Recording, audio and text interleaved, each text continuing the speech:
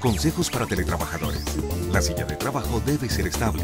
La altura y profundidad del asiento se deben poder regular, al igual que la altura e inclinación del espaldar.